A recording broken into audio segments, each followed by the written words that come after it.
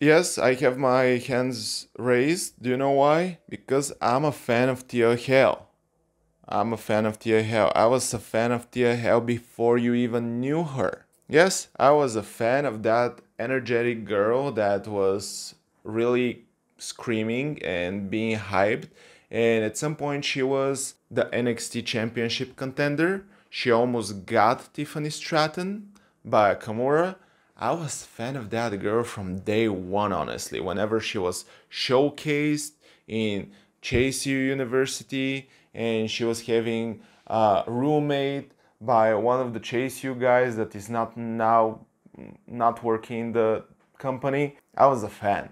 I, I really liked this girl and whenever whenever she lost the championship match against Tiffany Stratton and whenever Jacy Jayne approached her, I knew that some shit is about to start smelling here, if you know what I mean. We saw the downfall of Thea Hail by she teaming up with Jacy Jayne. And I'm not sure if this was actually the whole point and we did the JCJ thing in order to destroy the JCJ thing, Jacy Jayne thing, but I'm happier than ever right now. Thea Hail is back.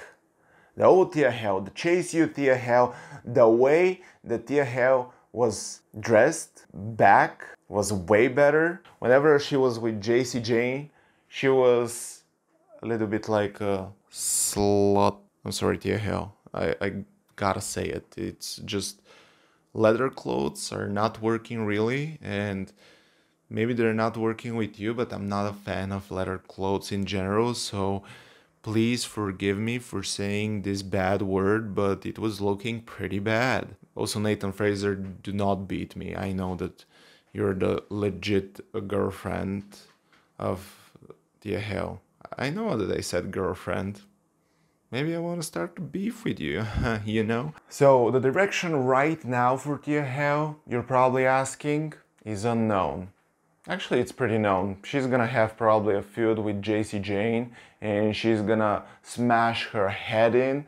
And I really want after that Thea Hail to go for the championship again and to bring Chase U to new heights because honestly, Jacy Jayne is kinda right.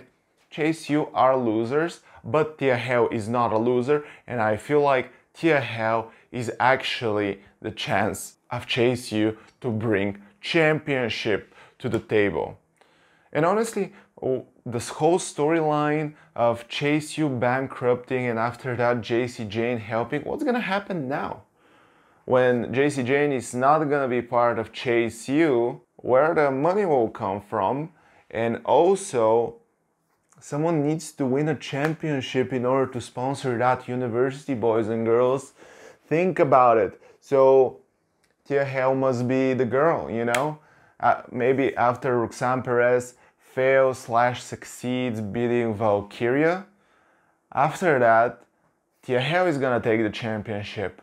And I'm really hyped to see Thea Hail winning the championship. And I really want to see that energetic furball of a human being to be with the championship and scream and make the Batista thing with the ropes, but she's not that strong enough and it looks like a little hamster is playing with the ropes and I love it.